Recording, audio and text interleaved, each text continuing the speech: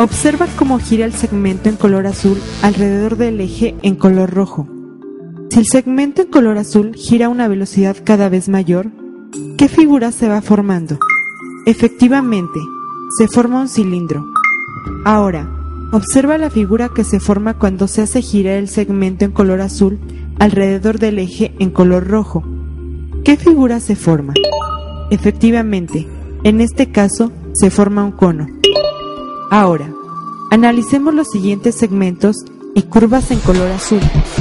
¿Cuál de ellos, al girarlo con respecto al eje en color rojo, genera una dona? ¿Este? No. En este caso, al girar el segmento, se forma un cono truncado. Este? No.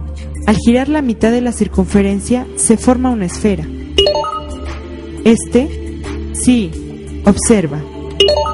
Finalmente, analicemos la siguiente figura.